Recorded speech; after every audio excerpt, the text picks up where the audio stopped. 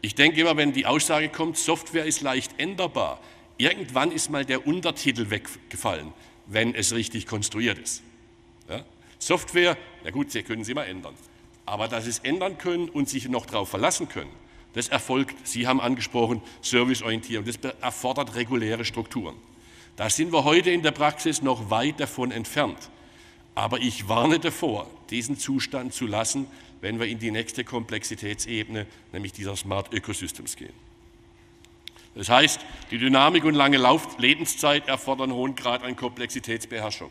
Und das ist nur möglich, wenn ich reguläre Strukturen aufbaue.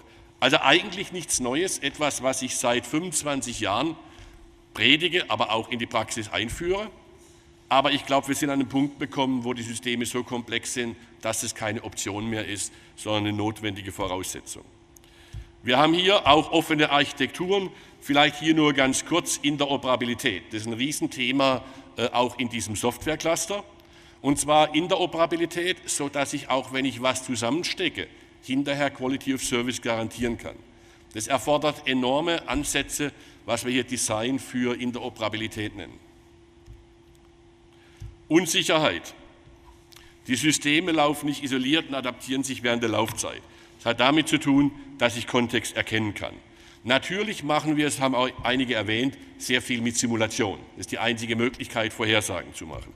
Aber Lösungen für solche Systeme, also wie erlaube ich Variabilität und garantiere was, haben wir im Moment zwei Ansätze, die wir in der Praxis auch umsetzen.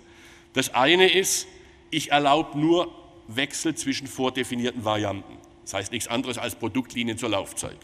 Also im Automobilbereich gibt es das vielfältig, dass für gewisse Geräte, wenn die erkennen, Sensor fällt aus, sie umkonfigurieren, aber die umkonfigurieren nur um in Kontexten, wo sie immer noch wissen, die, die notwendige Quality of Service oder Garantie ist erfüllt. Ich nenne das immer begrenzte Variabilität. Das andere heißt etwas, wir nennen das Software Cages. Wir haben einen Ansatz entwickelt. Äh, Firewall ist sozusagen die Sicht zwischen äh, äh ja, In-house, Out-of-house. Äh, wir machen das um alle Komponenten, wo wir nicht sicher sind, ob sie korrekt funktionieren, zum Teil auch extern importierte Komponenten, und um Teilfunktion, wo wir wissen, wenn die nicht erfüllt ist, hat es negative Auswirkungen auf die Nachbarschaft. Jetzt sind diese Software-Cages sehr elementar konstruiert, weil die müssen einfach sein, sonst haben sie dort natürlich dasselbe Risiko auf Korrektheit wie im Rest des Systems. Aber wir bauen eigentlich etwas, was wir aus der Robotik gelernt haben. Das wissen Sie bei jedem Roboter, Industrieroboter haben Sie normalerweise so ein, äh, äh ein, Haar, äh, ein Fence außenrum. Warum? Damit er nicht mal aus Versehen jemanden umbringt. Das heißt ja nichts anderes, wir sind nicht so ganz sicher, ob er funktioniert. Ja? Es könnte mal was schiefgehen. Wenn das bei den Systemen im Softwarebereich funktioniert, haben wir im Prinzip dasselbe Modell adaptiert. Und das ist etwas, was wir im Moment gerade in dem Bereich mit John Deere einsetzen, weil die Systeme sind einfach so komplex und die, ähm, äh, die Elemente, die Teilsysteme, die wir von außen importieren, so unbekannt zum Teil, dass wir uns einfach auf solche Dinge äh, zurückziehen müssen. Safety Security.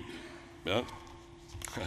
Ich habe schon immer mal mir gewünscht, wenn ein Porsche neben mir fährt, dass ich mir 50 äh, PS mehr runterladen kann und dann vorbeifahren kann. Ich glaube, so weit sind wir noch nicht, aber äh, das sind natürlich auch solche Ideen, äh, die äh, dahin äh, gehen. Aber ich glaube, das, was wichtig ist, wir brauchen integrierte Modelle Security Safety. Und hier sind wir wirklich in einem Forschungsbereich. Ich habe es vorhin angedeutet, weil eben Security nicht so leicht quantifizierbar ist. Aber das Endergebnis, was aus dem vernetzten System rauskommt, das müssen wir quantifizieren aufgrund von Zertifizierungsrichtlinien in verschiedenen Bereichen. Automobil, Luftfahrt, egal wo. Ja?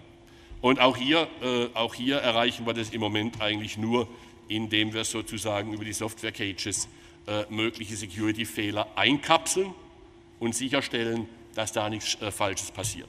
Also ähnliche Technologie, um ein etwas anderes System zu erreichen.